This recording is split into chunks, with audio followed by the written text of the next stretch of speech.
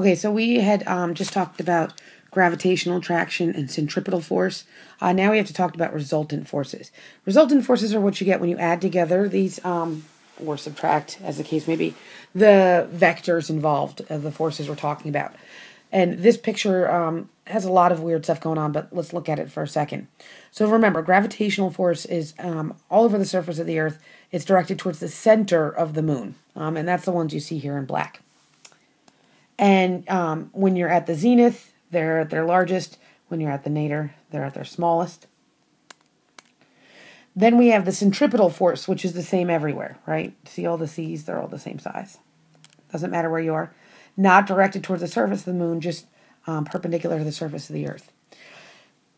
If you were to add these together, you would get what we call the resultant forces, and that's directed in blue. And the resultant force is basically when you add up vectors. Um, the math is going to be outside the scope of this class, but basically you end up with these um, blue arrows that point in all sorts of weird directions. And this is what you get when you add um, gravity and centripetal force. Um, seem to be going towards the moon in this one. And what you and what we mean by tide generating force.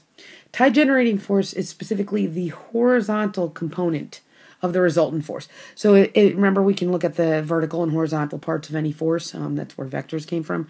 This is just the ones along the surface of the Earth, and they this this is in bold because this is really important.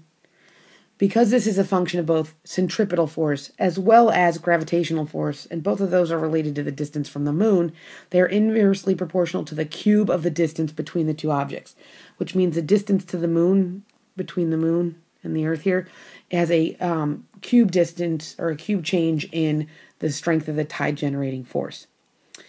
They tend to be maximal, um, maximized along a latitude of 45 degrees relative to the equator and the zenith. We're going to talk about why that is exactly. In all these pictures, we've sort of drawn the moon in this perfect um, line over the equator, and that doesn't actually happen.